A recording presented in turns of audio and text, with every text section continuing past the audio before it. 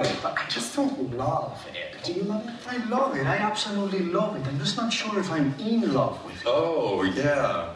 We have an expression around the office for when a sale just isn't happening. Commission impossible. Maybe for some people. Not sure if I mentioned it before, but the house does come with a hookup for a European washing machine. Oh, I love that. Oh, so sorry. It's the boss.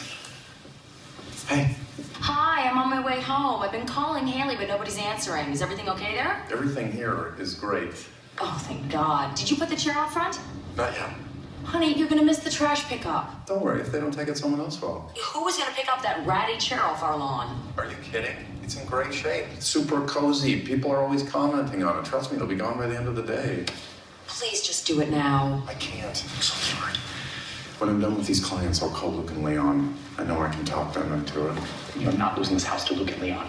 What do you mean, call Luke and Leon? Aren't you at home? No, I left right before you did. Phil, the house, the, the kids. Oh, God, the squirrel. Hello? We take it. Oh. Commission accomplished.